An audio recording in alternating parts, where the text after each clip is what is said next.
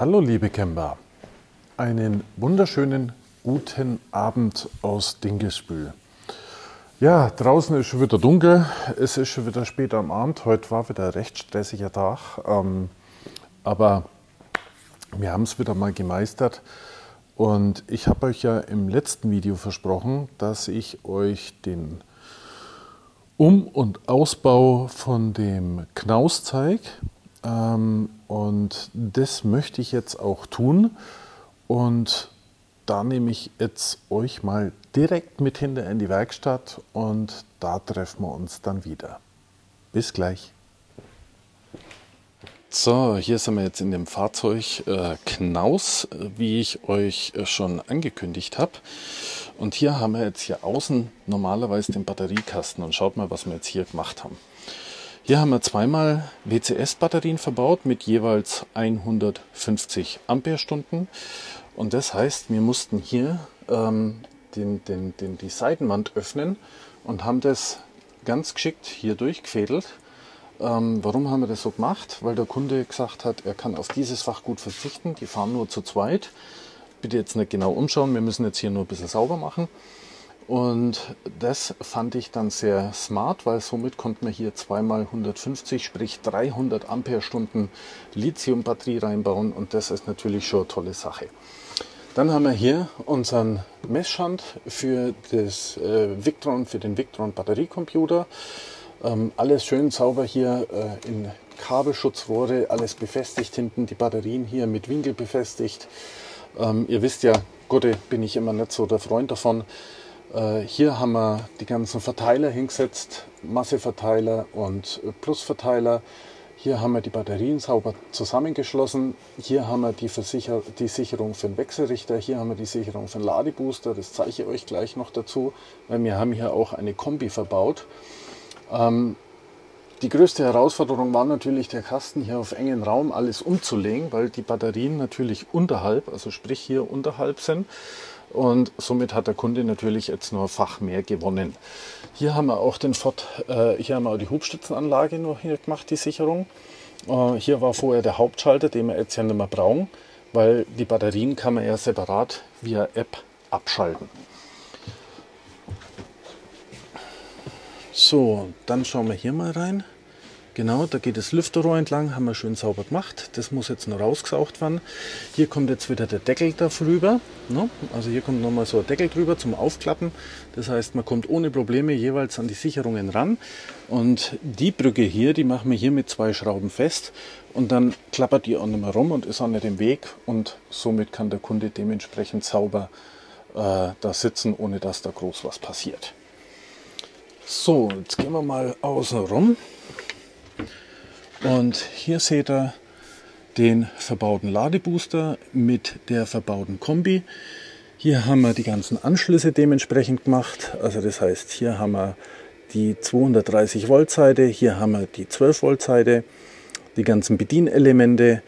Dann haben wir die Lüfterseite nach vorne gemacht, damit natürlich die Lüfter sauber rausblasen können. Auch der Ladebooster hat sauber Luft und haben hier die ganzen Leitungen angeschlossen. Den haben wir auch sauber programmiert, ähm, damit es alles sauber ordentlich da ausschaut. Also das ist richtig toll geworden, richtig sauber verbaut. Ähm, muss ich wirklich sagen, tolle Installation, schaut echt klasse aus. Ähm, Booster ist dementsprechend programmiert. Was wir jetzt natürlich gemacht haben, ist die, das Trennrelais noch ähm, gekappt, damit alles sauber funktioniert, weil das ja jetzt unser Booster übernimmt. So schaut das Ganze aus und die Bedienelemente haben wir natürlich auf diese Seite gesetzt. Das heißt, hier haben wir einmal das Bedienelement für einen Wechselrichter, sprich für die WCS-Kombi und auf der Seite haben wir das Bedienelement für unseren äh, Batteriecomputer. So kann der Kunde immer gleich alles auf einmal sehen und ist so natürlich echt sauber und geschickt. Also hier hat man einen schönen Durchblick, ähm, wie das Ganze ausschaut. Jetzt machen wir mal kurz Licht. So, dann ist hier auch ein bisschen heller.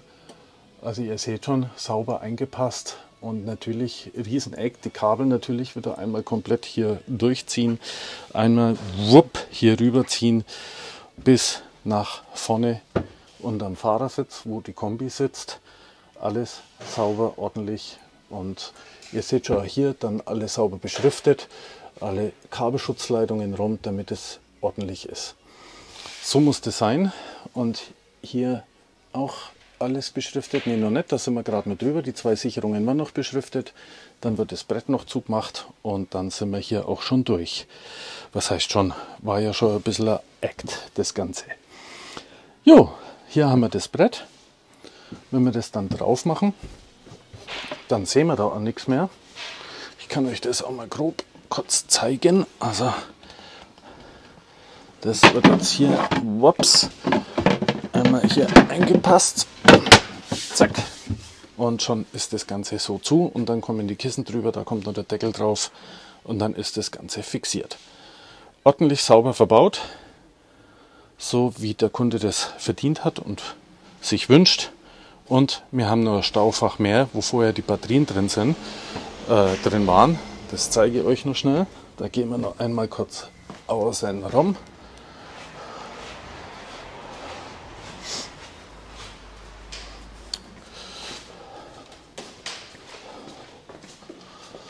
Voilà, das sieht man hier. Und hier haben wir jetzt nochmal ein schönes Staufach, wo man noch etliches unterbringen kann. Äh, sei es Schuhe oder keine Ahnung. Kabel haben wir sauber geschützt. Also ist das jetzt ein leeres Batterienfach, weil hier wären natürlich die 150er hätten hier nie reingepasst. Und darum haben wir die einmal komplett nach innen verlegt, eben hier rein, damit die sauber und ordentlich sitzen und der Kunde richtig Kapazität hat. Ähm, hier nochmal unser Kombi von der anderen Seite. Was auch wichtig ist, dementsprechend, dass hier die Lüfter sauber ablüften können, äh, weil hier kommt ja das Gitter davor. Dann kommt man hier auch sauber an den Rapid ran, wo man drücken kann, falls es mal nötig ist, was wir alle nicht hoffen wollen. Temperatursensoren beschriftet, Lichtmaschine und Aufbaubatterie. Hier haben wir die Booster-Sicherung beschriftet. Dann haben wir hier die Kabelnummer alle extra gesichert. Äh, damit da nichts auf Entlastung halt, damit da nichts dran ziehen kann, damit da nichts passieren kann. Und ja, so ist es eigentlich ein wunderbarer und großzügiger, schöner Einbau. Jo, das wollte ich euch auf alle Fälle nicht vorenthalten. Das habe ich ja versprochen, dass ich das euch einmal zeige. Also, bis dann. Ja, das war der Umbau, wie versprochen, von dem Knaus-Fahrzeug. Ähm, die Geräte als solches brauche ich euch äh, gar nicht mehr so in der Tiefe vorstellen, weil die kennt ihr ja vom WCS und von meinem Kanal. Also die, die Geräte sind allzeit bekannt. Ähm, es gibt ein paar spezifische Dinge beim Ladebooster, äh, die wir beachten müssen bei der Einstellung. Ähm, aber das habe ich euch ja alles schon mal mitgeteilt und das machen wir mal in einem späteren Video nochmal detailliert. Äh, ich habe nämlich auch mal vor, die ganzen Geräte, auch von Victron, Booster und so weiter, mal einzeln zu zerlegen, aber das erst in einem späteren, äh, zum späteren Zeitpunkt. Na, wer bist du?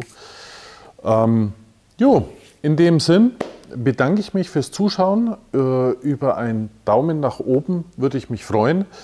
Und ähm, in den Kommentaren auch gern eure Meinung dazu, äh, wie ihr den Einbau findet ähm, oder Anregungen oder wie auch immer. Und dann sehen wir uns ähm, bald beim nächsten Video. Da freue ich mich schon drauf. Ich wünsche euch alles Gute und natürlich freuen wir uns nach wie vor über jeden Abonnenten. Äh, abonniert unseren Kanal, dann verpasst ihr sowas nicht oder dann verpasst ihr die zukünftigen Videos nicht, die äh, jetzt gerade durch Caravan Salon sehr interessant werden könnten, ähm, weil da haben wir einiges vor. Also, bis bald, bleibt gesund und wir hören uns. Ciao, ciao.